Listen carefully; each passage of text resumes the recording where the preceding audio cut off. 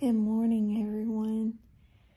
Um, I wanted to come on here and tell you something that the Lord literally just spoke to me. He said to come on here and tell you, just like He told us in His Word that His coming would be as of a woman in labor. Remember, the stronger the closer we get to the birth of the baby, the stronger the contractions, the more painful it will feel. A woman, when she is going through labor, she begins to feel tightening. And if you've ever had a baby, you know what I'm talking about. She begins to feel tightening, and the closer the baby comes, the harder, the stronger, the longer the contractions last. She's in a moment of waiting for this baby.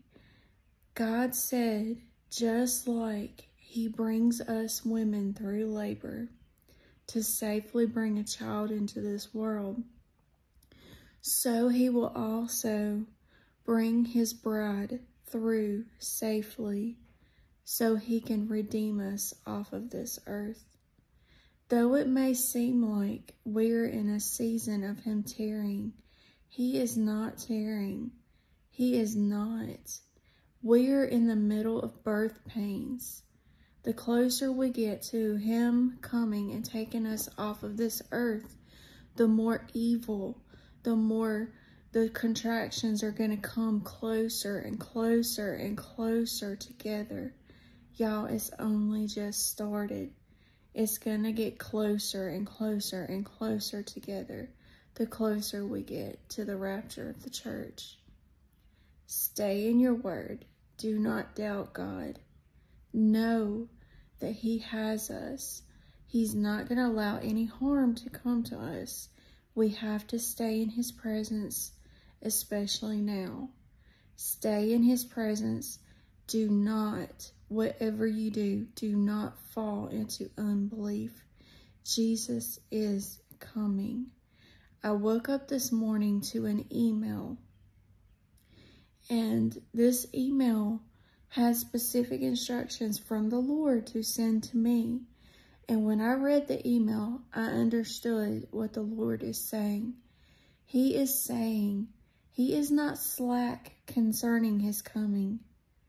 He is coming. He's not willing any should perish. He is coming. It may seem like he's waiting, but he's not waiting because we have to remember a day with the Lord is as of a thousand years here on earth. Our timing is different from God's, but I promise you, I promise you, soon and very soon, we are going to be caught up in the air to be with the Lord. If you do not know him, Get to know him now.